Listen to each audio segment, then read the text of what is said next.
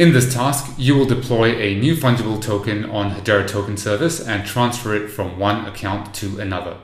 You will be using the Hedera SDK and use JavaScript. No Solidity or smart contracts necessary. Hi, I'm Brendan, DevRel engineer at Hashgraph, and I'll be walking you through this task. Please do follow along as you watch this video, as this is intended to be hands-on. All you need are a browser and a GitHub account.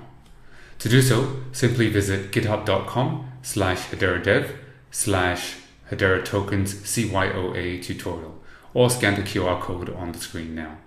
This is part of the Choose Your Own Adventure Style Hedera Tokens tutorial where you'll learn how to mint and transfer tokens the EVM way, the Hedera native way, and even another interoperable way with both at the same time.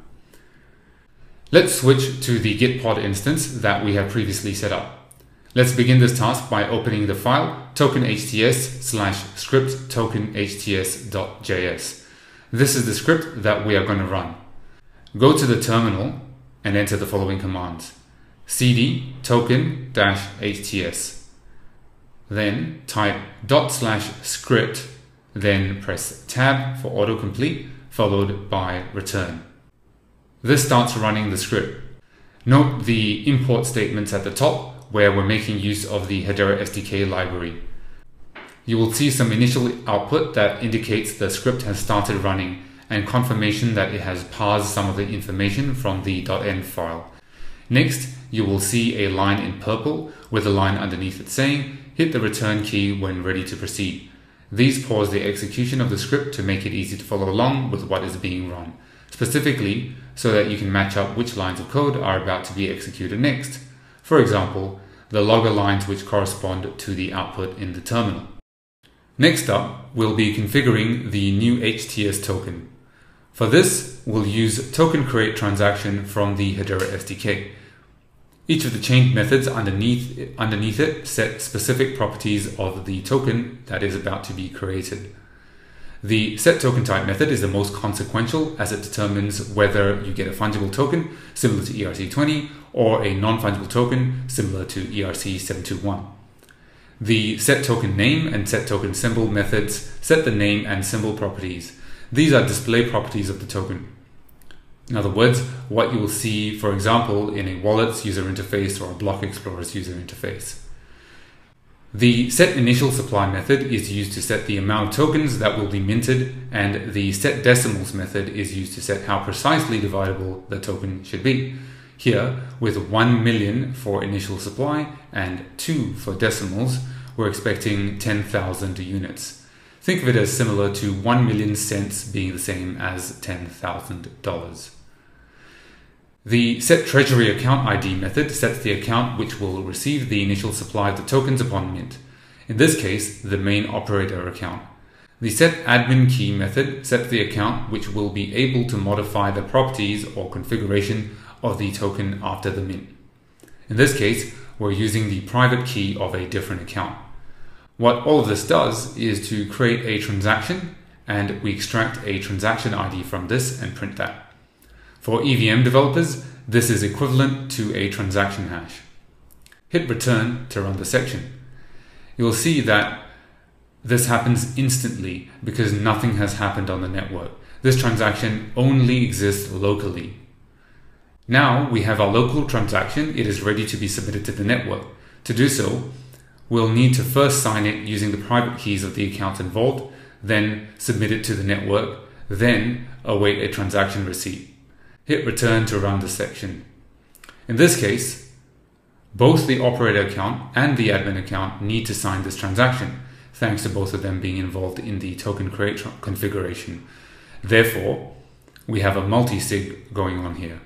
To do so, we'll use the sign transaction method with each of the private keys, then use the add signature method twice on the token create transaction and obtain a signed transaction. Subsequently, we use the execute method on the signed transaction to get a submitted transaction. This means that the Hedera testnet has received the signed transaction and the network nodes are validating it, running it through the hashgraph consensus algorithm, and finally adding it to the blockchain. Finally, we use the get receipt method on the submitted transaction to obtain the transaction receipt. This transaction receipt will contain the status of the transaction, we're expecting a success status here, as well as the ID of any entities created, in this case, the token ID. We extract this token ID from the receipt and print a HashScan URL, HashScan being the network explorer. Use command click or control click to open the token URL in a tab, in a new browser tab. In this new browser tab, we can see the hashscan.io slash testnet slash token followed by the token ID in the URL bar. This page shows us all of the properties of the token that we have just created using the token create transaction via the Hedera SDK in our script thus far. We see token HTS coin as a token name and token HTS in all caps as the token symbol. The treasury account is our operator account the entire minted balance of 10,000 tokens has been sent to the operator account. Switching back to Gitpod, in the terminal, we see that the script has also written an artifacts.json file to disk. This is not necessary in this task and is intended to be used in the interoperability task instead. So we'll come back to this later. In the next section, we'll configure token association. In EVM, when you have an ERC20 token, for example, you can transfer it to any account that you wish to, whether the recipient is aware of it or not. With HTS tokens, however, this is not the case. A recipient account essentially needs to whitelist or allow which tokens they wish to interact with, and this concept is called token association. We'll use the token associate transaction for this. This transaction is far simpler than the previous one and we only need to configure two properties. Use the set account ID method to set the recipient account. Use the set token IDs method to set the token ID of the token that we have just created. Hit return to run this section. We print the transaction ID to the terminal. As before, we now have our local transaction ready to submit to the network. Hit return to run the section. Again, we'll be we'll begin by signing it using the private keys of the accounts involved, then submitting it to the network, and then awaiting a transaction receipt. This time, we only need one signature for the recipient account and thus call the sign method on the token associate transaction. The subsequent execute and get receipt methods follow the same pattern as before. We extract the transaction status and print it out. We also print the HashScan URL of the transaction. Use command click or control click to open the URL in a browser tab. In the new browser tab, we can see the hashscan.io slash testnet slash transaction in the URL bar, followed by the transaction ID. This page shows us all of the properties of the token associate transaction via the Hedera SDK in our script thus far. We see the type as token associate and a status of success. Let's switch back to Gitpod. Our next task is to configure a token transfer. To do so, we'll use the transfer transaction from the Hedera SDK. If you've done an HBAR transfer before, you'll notice that this is the same transaction type for both tokens and cryptocurrency.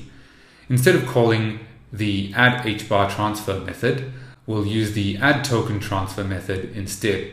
For each, we need to specify the token ID, the account ID or address, and amount. We use negative numbers for debited amounts and positive numbers for credited amounts. As long as the debits and credits add up to the same total and they tally for the same token, the transaction is valid.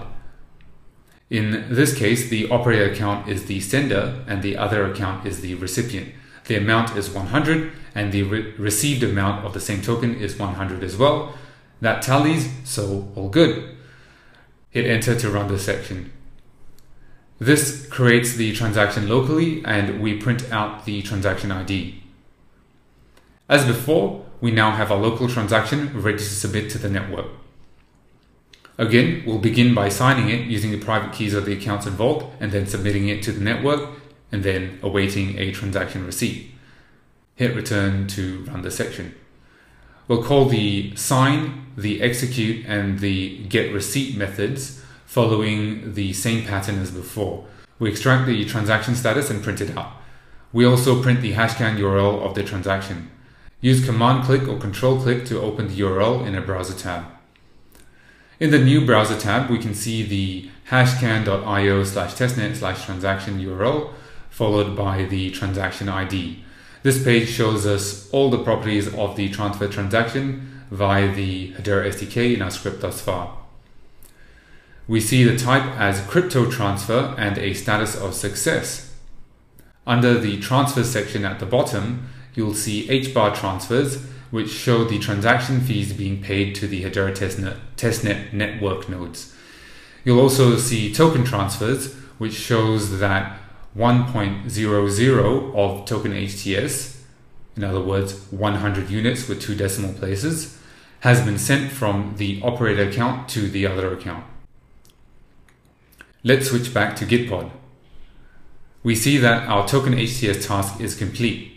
Congratulations on making it this far.